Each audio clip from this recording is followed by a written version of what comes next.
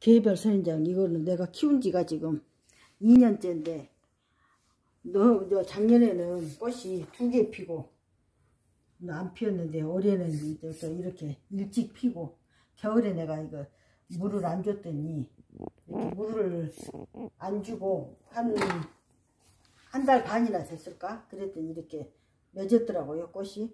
그래서 거기다가 퇴비를 살짝 넣고 물을 조금 붓고는 뿌리에다만 흙을 파고 거기다 퇴비를 넣었거든요. 그랬더니 이렇게 꽃이 훨씬 다른 때보다 더 빨가고 곱게 물들고 이렇게 성이도 크고 또 이렇게 꽃을 맺어 놓으면 오래간다 얼른 안 지고 오래간다 하더라고요.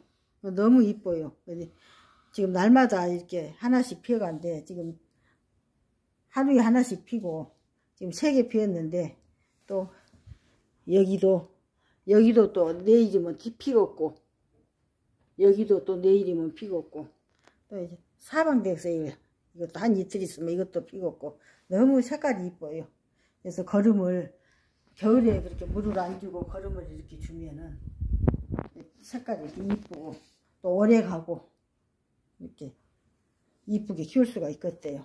그리고 내가 이 나무는 이 화분은 내가 이렇게 많이 컸을 거예요 길이가 많이 컸을 텐데 길이를 키를 안 키우고 잎을 튼튼하게 하기 위해서 얘가 튼튼하잖아요. 짱짱한 얘가. 속에 그 어디 철사 끼우는 것처럼 이렇게 튼튼해요. 그렇게 키우기 위해서 얘를 옆에를 따줬어요. 따줄 때 봄에 딴 것이 좋더라고요. 경험해 보니까.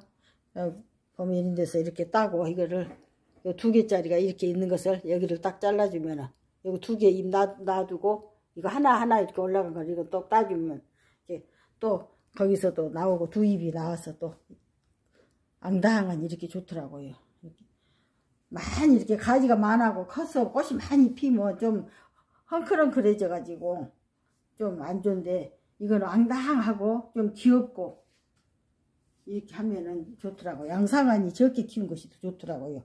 꽃도 튼튼하고 크게 피우고 그래서 올해도 이렇게 키우고 또 지금 그래서 또 적은 화분이 또 하나 있거든요. 근데 아직 그거는 꽃이 안 맺었고요. 또 그것도 이렇게 많이 안 심고 하나씩 이렇게 가지가 이렇게 많이 뻗어갖고 앙당하니 이렇게 크는 거를 이렇게 키우고 싶네요.